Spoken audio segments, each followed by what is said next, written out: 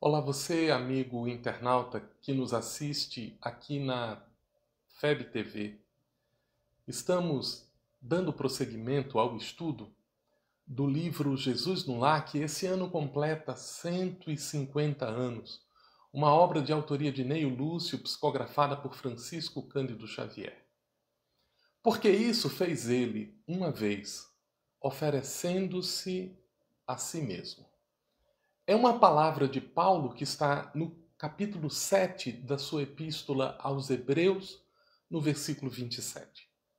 Paulo, como nós sabemos, era um homem de muitas letras.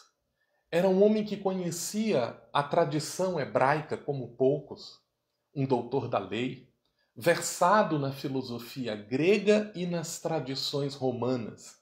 Ele era uma personalidade muito incomum do ponto de vista do pensamento, porque desenvolvera uma aptidão para o pensamento, para as grandes discussões, para a observância das tradições de seu povo e sabia, nas minúcias dos detalhes, a natureza dos cultos antigos.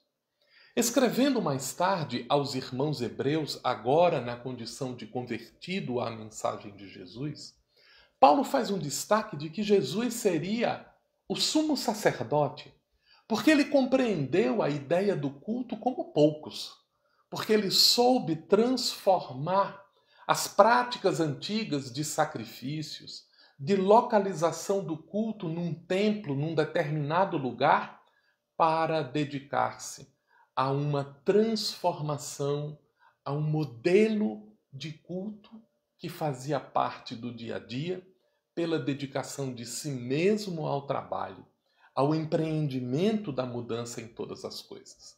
A temática do culto é muito curiosa porque ela aparece ao longo da história da humanidade em diferentes segmentos. A própria palavra culto tem uma origem interessante que nós vamos exemplificar com uma história dos antigos, uh, das tradições que haviam entre os índios a respeito de uma história muito curiosa.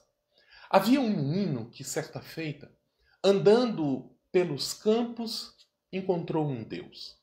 Um Deus que lhe ensinou sabedoria, que lhe apresentou as tradições dos antepassados, o cuidado que deveria ter com a terra, a forma que deveria cuidar dela, como deveria cuidar do próprio corpo, como deveria fortalecer-se, instruiu-o nas artes da guerra e dia após dia, no encontro com o menino, o Deus foi preparando-o para o momento em que ele disse: Haverá um dia em que nós batalharemos e você me tirará a vida.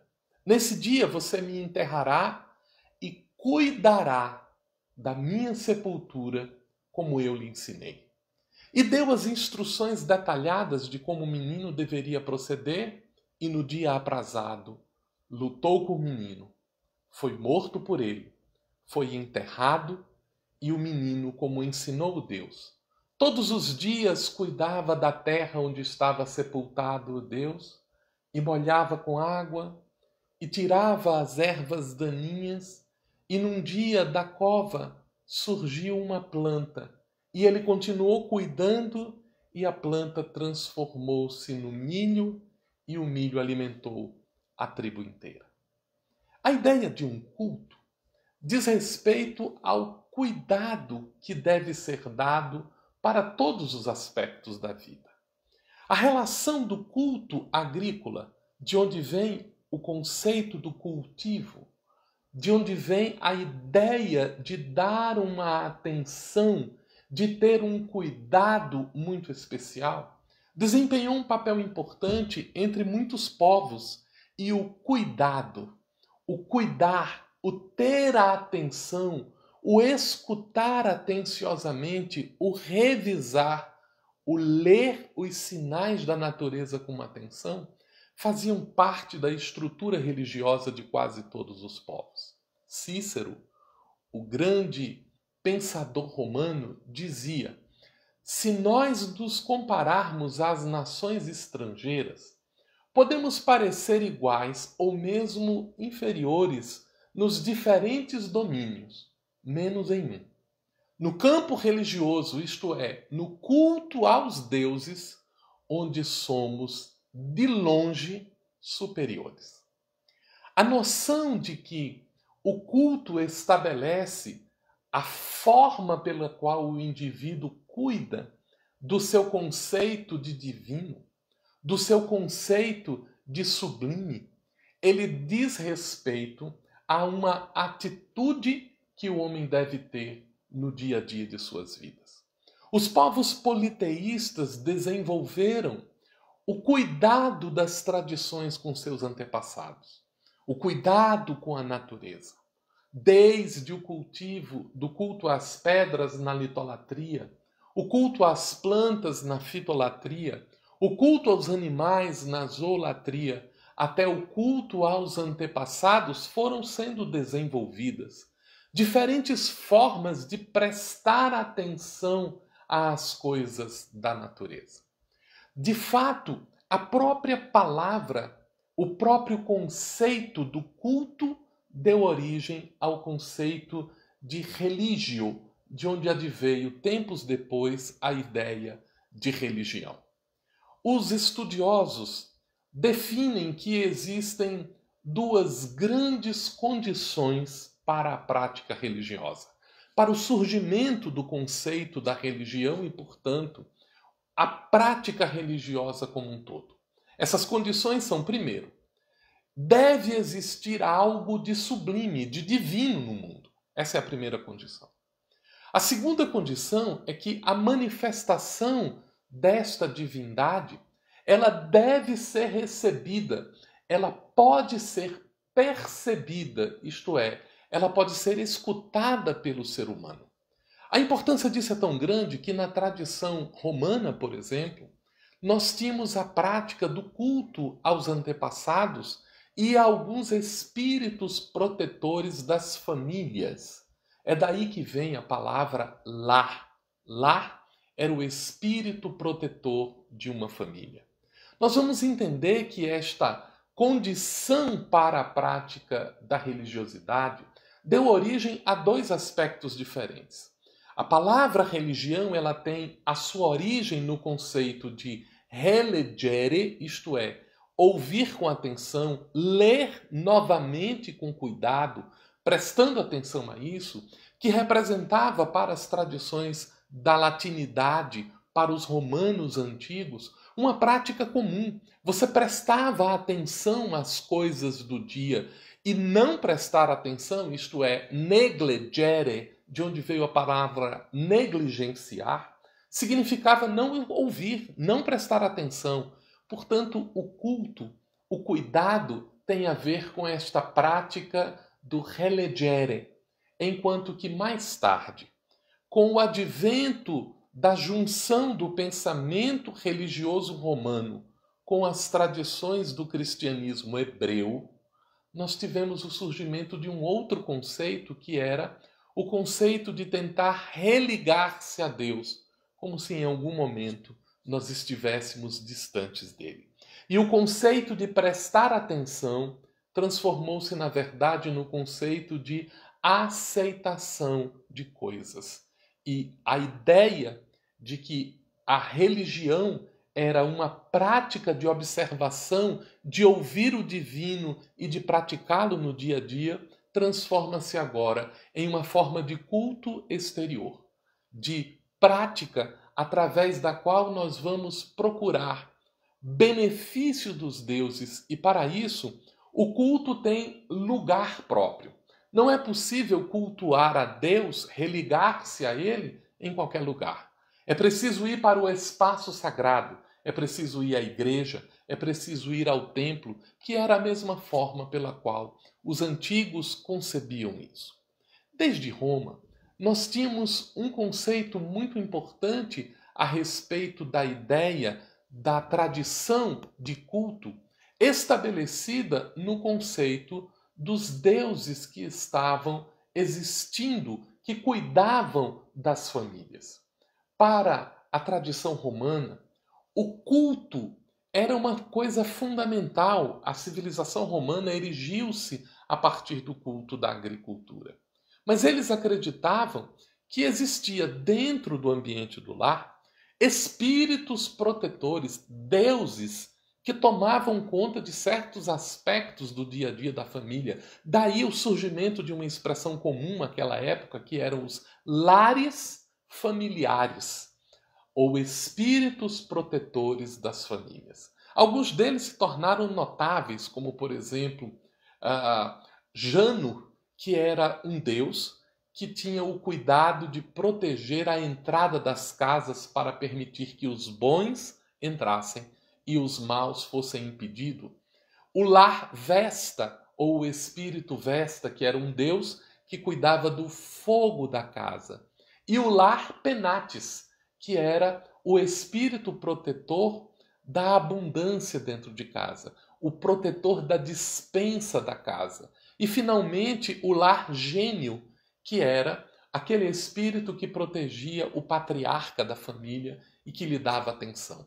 Haviam os lares familiares, os espíritos protetores da família, mas existiam outros lares, os lares pamarinos, por exemplo, que eram os espíritos que protegiam as embarcações, os lares públicos, que eram os espíritos que protegiam as vias públicas.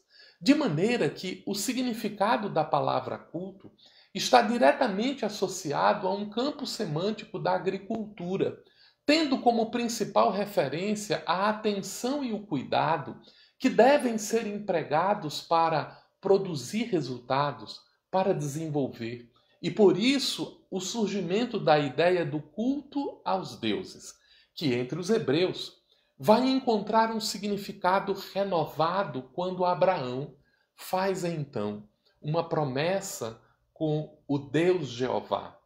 E a partir dali, ele estabelece uma nova forma de culto. Um culto que diz respeito a práticas do dia a dia. Mais tarde, nós encontraremos em Moisés a consagração de uma incorporação da lei, a lei que fora observada e cultuada para tirar da terra o sustento de cada dia, tornava-se, a partir de Moisés, um código de conduta através do qual o homem deveria transformar-se. O homem deveria cultivar em si mesmo os valores verdadeiros que ele deveria trabalhar. Por isso, a expressão sensata de Paulo quando ele diz que Jesus ele não foi a um culto externo, ele trouxe a temática da religiosidade, do culto, da atenção para si mesmo, para o trabalho que realizava. E no momento supremo do sacrifício que antes se faziam nos templos, Jesus imolou-se a si mesmo querendo com isso representar que é através do nosso sacrifício que nós praticamos a verdadeira religião, mas não o sacrifício de morte, mas o sacrifício de vida. No capítulo 1 de Jesus no Lar, cujo título é exatamente O culto cristão no lar, nós vamos observar que a um determinado momento Jesus, na casa de Simão Pedro, tomou os sagrados escritos, isto é, a antiga lei hebraica e como se quisesse imprimir um novo rumo à conversa que se fizera improdutiva e menos edificante, iniciou um diálogo com Pedro. É muito curioso porque no momento em que as pessoas dentro de casa estavam distanciadas dos pensamentos edificantes, do cultivo de valores, da atenção de escutar e perceber as expressões da divindade que se expressam nas leis que estão no nosso dia a dia, nós vamos encontrar as pessoas em conversações improdutivas e que não edificam em coisa nenhuma. Quantas vezes nós não vemos no dia a dia de nossas vidas esses momentos em que nós jogamos conversas fora? Que nós simplesmente negligenciamos a atenção com relação a alguns aspectos do nosso dia a dia. E o convite de Jesus nesse capítulo foi um convite para edificar uma forma diferente de pensar. Então, através de uma série de perguntas que ele faz a Pedro, tentando extrair do pescador a noção de que nós deveremos nos preparar para fazermos o melhor, Jesus extrai do bondoso pescador uma série de verbos em diferentes contextos do dia a dia que você, meu amigo, minha amiga, poderá ler no capítulo no livro Jesus no Lar. Mas nós gostaríamos de destacar nesse contexto alguns verbos que são destacados no diálogo, quando Jesus vai perguntando o que faz Pedro, um pescador, quando se prepara para ir ao mercado. E Pedro diz: escolhe os melhores frutos de sua pesca. Escolher é preferir, é separar, é fazer uma opção por alguma coisa. Então, ao longo do diálogo, Jesus vai apresentando a Pedro os conceitos de escolher, de modelar, de lavrar, de usar e de aperfeiçoar. E nesse diálogo de capítulo, ele estabelece uma espécie de um programa de edificação, um programa de culto, um programa de prestar atenção às coisas, um programa para que a gente tenha cuidado com as coisas do dia a dia. E esse cuidado deve iniciar quando nós escolhemos o que é melhor. E escolher o que é melhor significa ter uma atitude ativa de atenção, de culto, de cultivo para o que está acontecendo em torno de nós e fazermos as escolhas para o que é melhor para todos, o que é melhor para nós mesmos. Além de escolher, nós precisamos modelar. Uma vez que as coisas são escolhidas, nós precisamos escolher um modelo para trabalhar em torno dele. Então, nós modelamos aquilo que escolhemos. Nós trabalhamos sobre aquilo com o propósito de transformar o que escolhemos em algo útil. E isso exige o esforço de dedicar-se àquele empreendimento. Daí vem a aplicação do verbo lavrar, preparar, cultivar, cuidar, de tal maneira que nós podemos, com o elemento escolhido, modelado, nós podemos usar. Nós podemos tornar o melhor o costume do nosso dia a dia. E a partir desse esforço de escolher, de modelar, de lavrar, de usar, nós conseguimos aperfeiçoar o dia a dia das coisas. A ideia do aperfeiçoamento, a ideia de conseguirmos empreender uma melhoria continuada sobre todos os momentos da nossa vida é a essência do propósito de nossa existência. Nós nos esforçamos para aprimorar o instrumento corporal para termos mais saúde. Nós nos esforçamos por aprimorar os recursos intelectuais para termos uma melhor visão, um melhor entendimento e uma capacidade maior de agirmos sobre a vida. É daí que vem a expressão os homens cultos. São cultos aqueles que fizeram escolhas, que modelaram, que lavraram, que usaram e que aperfeiçoaram a palavra, o sentimento, o entendimento, as ações. O cultivo desses valores cria os homens cultos. Então, a ideia de religião relacionada ao conceito de um culto deixa de ser aquela prática exclusivamente restritiva de uma religião que procura ir a um lugar para, numa atitude passiva ou ativa, de realizar coisas no lugar sagrado ou de receber coisas no lugar sagrado, isto é deixado de lado. E nós passamos a entender que o verdadeiro culto é a prática constante em todos os ambientes de escolher, de modelar, de trabalhar sobre, de usar e de aperfeiçoar. É por isso que nós vamos encontrar no texto de Neio Lúcio uma expressão muito curiosa quando ele destaca nas palavras de Jesus: o berço doméstico é a primeira escola, é o primeiro templo da alma. A casa do homem é a legítima exportadora de caracteres para a vida comum. Então, como nós devemos cuidar desses elementos, deveremos cuidar da educação dentro de casa. Não adianta procurar o culto nos templos externos. É preciso desenvolver o sentido do sublime, do sagrado, do divino em nós, em nosso lar, nas experiências do dia a dia, na convivência com aqueles que amamos, na formação dos valores pequenos. Sem este entendimento, as civilizações só sobram.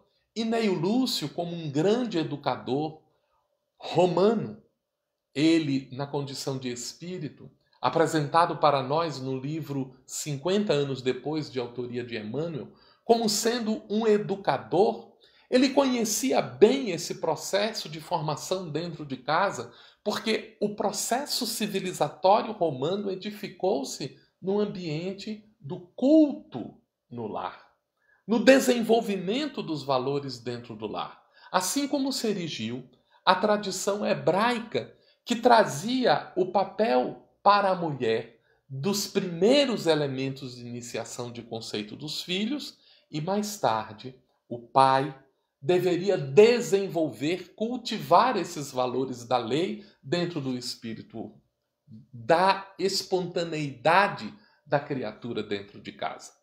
O berço doméstico, como essa primeira escola, ela deve ser destacada como a casa que exporta os caráteres verdadeiros. Se nós não conseguimos construir a paz dentro de casa, como é que nós vamos edificá-la no mundo? Se não conseguimos perceber os valores de convivência debaixo dos que vivem no mesmo teto, como é que vamos reconciliar a convivência entre povos e entre nações? Se temos dificuldade de identificar a prática do amor, da fraternidade, da concórdia, do perdão, do diálogo, do respeito à diferença, como aqueles que se estabelecem em nossa casa, de que maneira vamos respeitar os outros? De que modo vamos tratar os diferentes? De que modo vamos conceber os que pensam de maneira distinta de nós mesmos? Então não devemos negligenciar o nosso dia a dia. Não podemos perder tempo discutindo questões que são irrelevantes.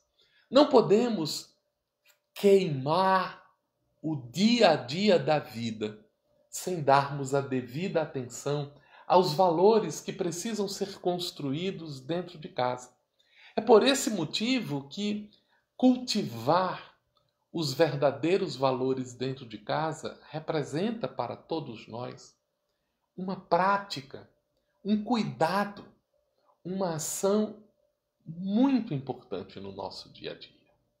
Desenvolver o hábito de escolher coisas boas, de desenvolver a atenção para criar modelos, direcionar coisas para o melhor, criar propósitos, desenvolver visões, transformar esses modelos em práticas que devem ser trabalhadas para o aperfeiçoamento é a principal função do lar no nosso dia a dia. E se nós não nos habituamos a amar o irmão mais próximo, que convive conosco na luta do dia a dia, como é que nós vamos entender a expressão do Pai eterno que está no dia a dia das nossas vidas?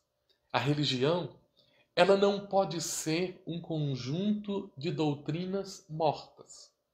Ela não pode ser um conjunto de conceitos que não fazem sentido em nossa vida. A verdadeira religião deve ser cultivada em todos os espaços, em todos os lugares, mas precisa começar dentro do lar. É por isso que precisamos aproveitar os momentos de convivência para escolher coisas boas. É por isso que nós necessitamos reservar alguns minutos do nosso dia a dia para termos o cuidado de desenvolver aquilo que traz valor para a existência. Quando nós olhamos em torno da mesa, que é para nós o ofertório em que as bênçãos do Divino Pai apresentam-se no ambiente doméstico na forma do alimento que transforma, do alimento que sustenta, é importante que nós reconheçamos a necessidade de receber ali, no templo do nosso alimento, também outros valores, outras ideias, e precisamos instalar neste ambiente que é o ambiente doméstico a prática de um cultivo de felicidade, o cultivo da paz, procurando as melhores conversas, procurando os melhores pensamentos, desenvolvendo valores, projetando ideias,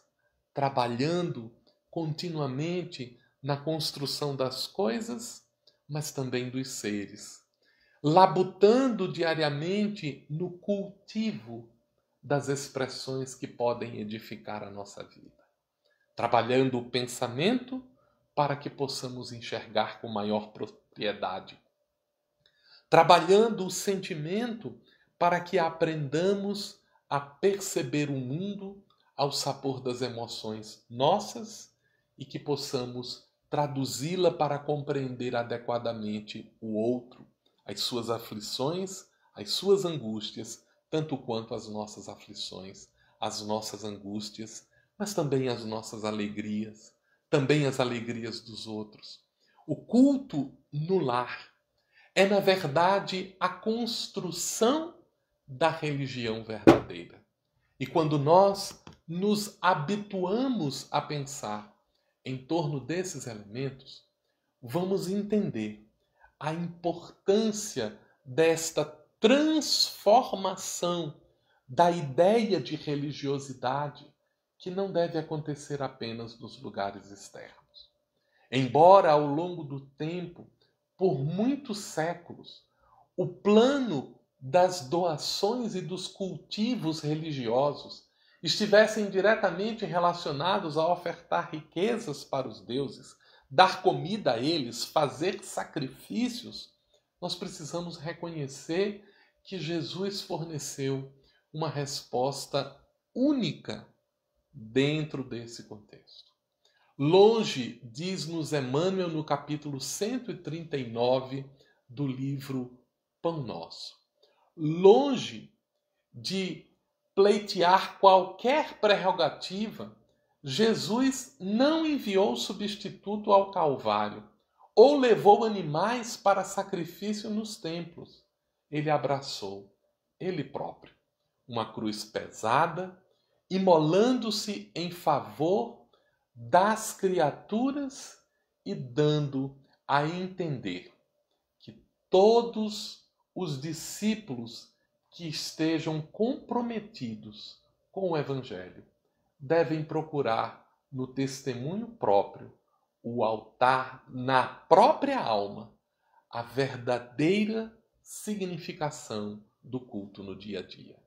É por isso que nós vemos no capítulo 1 do livro Jesus no Lar, Jesus convidando os que estão na casa de Pedro para uma leitura edificante, para reler através do instrumento do texto os valores verdadeiros que a vida nos oferece no dia a dia. E por isso, nós precisamos ter atenção, precisamos resignar-nos, mas precisamos do esforço igualmente de cultivar bons valores, de desenvolver virtudes e de nos tornarmos melhores. Nos vemos no próximo estudo, no capítulo 2 do livro Jesus no Lar. Até lá! Sigo um novo tempo. Como um vento, o tempo leva e traz vida, e com ela se alternam diferentes momentos. É por isso que precisamos de pausas para dar espaço ao silêncio e nele consolidar o que aprendemos e podemos escutar dos mais sábios e benevolentes. O Espiritismo é caminho da palavra, do silêncio, do sentimento e da imagem. É ação. Como um canal de prática de amor e difusão de conhecimento, a FEB TV existe para transmitir os postulados do Espiritismo e oferecer roteiros que permitam avançar nesta trilha que é a vida. Agradecemos muito a vocês por fazerem parte da corrente. Graças às doações, podemos realizar nossa missão de estar perto e propagar a doutrina espírita. Vamos seguir juntos plantando e colhendo a paz. Seja você também um investidor do bem. Colabore com a FEB TV. Juntos podemos mais. febtv.com.br